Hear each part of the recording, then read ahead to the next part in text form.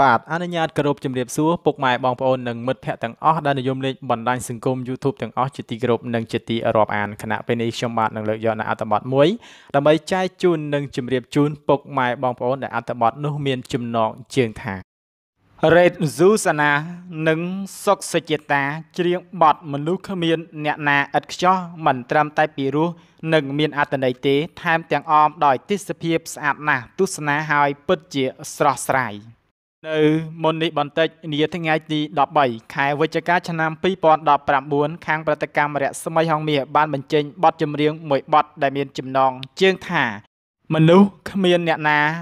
ឥតខ្ចោះដែលជាការបកស្រាយដោយ Red Zuzana និងសុកសុជាតានិពន្ធទំនុកច្រៀងនិង Melody ដោយ Tri Sakada និពន្ធបទភ្លេងនិងសម្រួលតន្ត្រីដោយ San Soden មួយបទនេះមិនត្រឹមតែពីរោះនិងមានអត្ថន័យប៉ុណ្ណោះទេសូម្បីតែទេសភាពពិតជាស្រស់ស្អាតខ្លាំងណាស់ទស្សនាហើយពិតជាមានអារម្មណ៍ស្រស់ស្រាយតែម្ដងក្រោយពីទស្សនាចប់ក៏បានធ្វើឲ្យអ្នកគាំទ្រជាច្រើនលន់មាត់សរសើរសឹងតែគ្រប់គ្រប់គ្នាហើយក៏បានមានអ្នកខ្លះបានចោទសួរទីតាំងក្នុង MV បទនេះថែមទៀតផងព្រោះតែទេសភាពស្អាតគួរឲ្យកយគុណ បាទខ្ញុំក៏សូមបញ្ចប់នៅអត្ថបទនេះត្រឹមតែប៉ុណ្ណេះខ្ញុំបាននឹងលើកភ្ជាប់នៅអត្ថបទមួយទៀតដើម្បីចែកជូនពុកម៉ែបងប្អូននៅអត្ថបទនោះមានចំណងជើងថា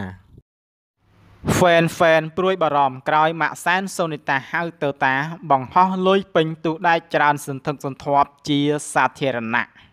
ជីវិតរបស់តារាសម្ដែងស្រីម៉ាក់សែនសូនីតាកំពុងតែធ្វើឲ្យមនុស្សគ្រប់គ្នាច្រណែនជាមួយនឹងភាពសម្បូរបែបរបស់នាងជាមួយនឹងលុយ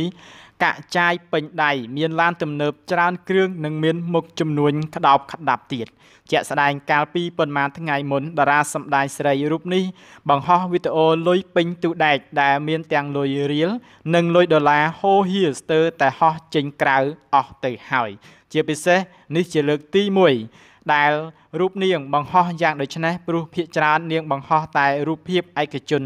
តែម្ដង។ប៉ុន្តែនៅក្នុងពេលនោះដែរក៏មានមនុស្សជាច្រើនមិនសប្បាយចិត្តពេលឃើញ idol របស់ខ្លួនបង្ហោះលុយបែបនេះទេព្រោះថាខ្លាចមានរឿងមិនប្រក្រតីលើសវត្ថភាពផ្ទាល់ខ្លួនរបស់នាងព្រោះថារឿងខ្លះក៏អាចកើតឡើងបានផងដែរនៅពេលធ្វេសប្រហែស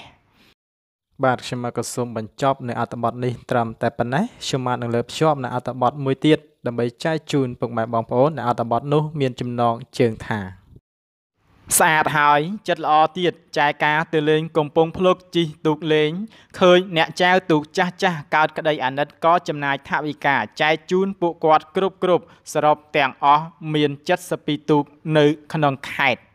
ហាជនមួយចំនួនធំពិតជាបានស្គាល់ជាក់ជាមិនខាន អ្នកលក់ផលិតផលអនឡាញដ៏ស្រស់ស្អាតម្នាក់ឈ្មោះម៉ូលីកាហៅចែកការគាត់មិនត្រឹមតែមានសម្រស់ស្អាតប៉ុណ្ណោះទេគឺថែមទាំងមានចិត្តសប្បុរសធម៌ថែមទៀតផងជាក់ស្ដែងកាលពីពេលថ្មីថ្មី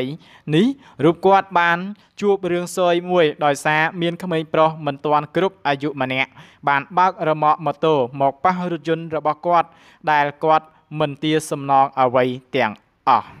ចំណែកម្សិលមិញនេះនាថ្ងៃទី12ខែវិច្ឆិកាឆ្នាំ2019ម៉ូលីកា ម្នាក់នេះបានទៅលេងនៅខេត្តសៀមរាបហើយក៏បានឆ្លៀតពេលវេលាទៅលេងកំពង់ភ្លុកព្រមទាំងបាននាំថវិកាមួយចំនួនចែកជូនដល់ចាស់ចាស់ផងដែរ អ្នកលក់ផលិតផលតាមអនឡាញរូបនេះក៏បានភ្ជាប់សារខ្លីមួយនៅក្នុង Facebook របស់ខ្លួនថាមកលេងសៀមរាបឆ្លៀតមកលេងកំពង់ភ្លុកជិះទូកលេងឃើញ អ្នកចែវទូកចាស់ចាស់ចែកការអាណិតក៏ចំណាយថវិកាបន្តិចបន្តួចជូនពួកគាត់សូមជូនបុណ្យទាំងអស់គ្នាណាអតិថិជនសំណប់និងសំណាង សំណប់ចិត្តទាំងអស់គ្នាសាធុសាធុ72ទូកជូនគ្រប់ទាំង